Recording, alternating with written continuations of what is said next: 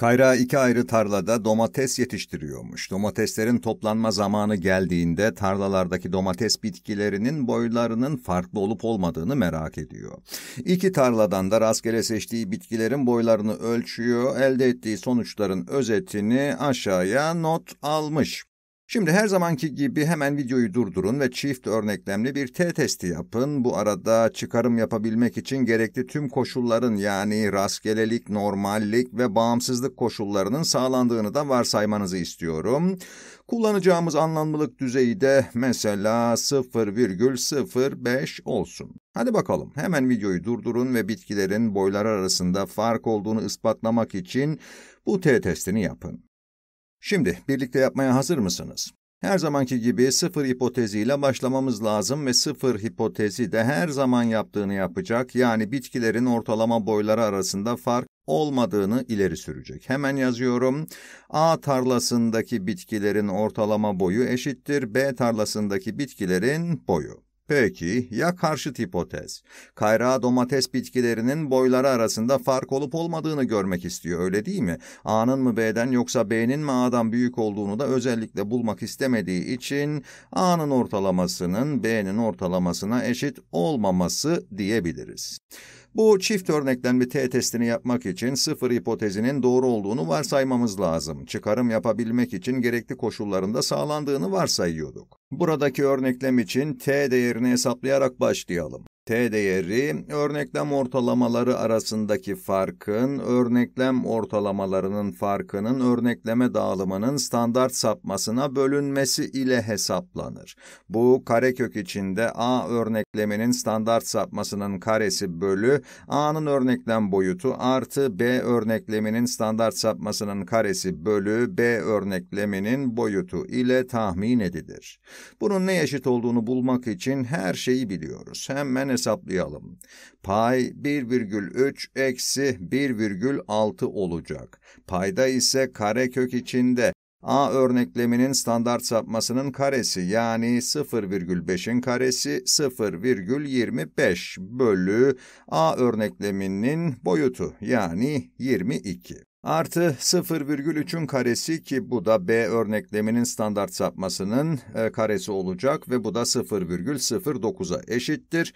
Bölü B örnekleminin boyutu yani 24. Şimdi hesap makinesini de çıkaralım. Pay eksi 0,3 olacak. Bölü kare kök içinde 0,25 bölü 22 artı 0,09 bölü 24 işleminin sonucu eksi 2,44'müş. Yaklaşık olarak eksi 2,44 olarak not ediyorum. Hemen T dağılımını da çizelim. Olasılığı hesaplamak için hesap makinesini kullanacağız ama bunu da gözümüzün önüne getirmenin faydalı olacağını düşünüyorum. Evet, bu T dağılımının varsayılan ortalamasıdır. Bizim bulduğumuz T değeri eksi 2,44.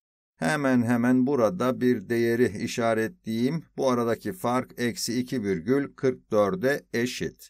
Şimdi bu t dağılımından böyle bir sonuç elde etmenin olasılığının ne olduğuna bakmamız lazım. Bu da buradaki ve buradaki alanların toplamıdır. Ortalamanın 2,44 üzerinde olduğumuz sonucu da değerlendirmemiz gerekir.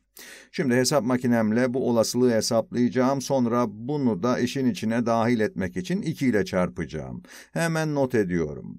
Mutlak değeri 2,44'ten büyük olan bir t değeri elde etmenin olasılığı yaklaşık olarak. Evet. Buradan second'a basalım. Sonra dağılım için distribution, kümülatif dağılım fonksiyonunu seçelim. İşte böyle.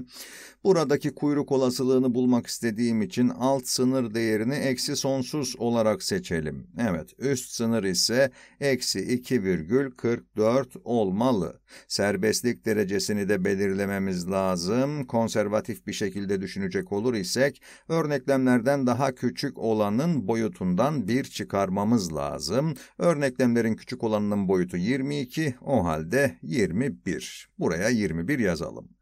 Sonuç bir bakalım işte burada. Bunu bir de 2 ile çarpmamız lazımdı çünkü burada elde ettiğimiz sonuç bize bundan daha küçük bir değer elde etmenin olasılığını verir. Ama bizim ortalamanın 2,44 üzerinde olan bir sonucu elde etmenin olasılığını da hesaba katmamız gerekiyor. O halde çarpı 2 sonuç yaklaşık olarak 0,024. Buraya da yazalım. Yaklaşık olarak 0,024.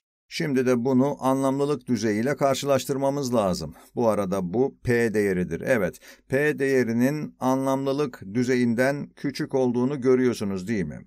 Buna göre de sıfır hipotezinin doğru olduğunu varsaydığımızda eşik değerimizin çok daha altında bir olasılık elde ettiğimiz için sıfır hipotezini reddedeceğiz ve bu da karşıt hipotezi değerlendirmemiz gerektiği anlamına gelir. Başka bir deyişle iki tarladaki domates bitkilerinin boyları arasında fark vardır.